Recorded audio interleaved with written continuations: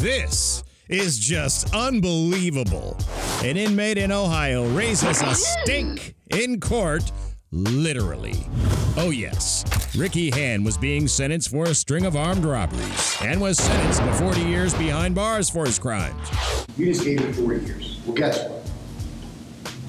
Sir, don't say something. Now, take another look from this angle. Not happy with the verdict, Han stood up and pulled out bottles with his own feces and urine and threw it at his defense lawyer. Ugh, the bottles were hidden in his arm sling and his pants. His messy stunt led him to getting slapped with five new charges, including harassment with a bodily substance. But he's pleaded not guilty, and something tells us Ricky Han has no regrets.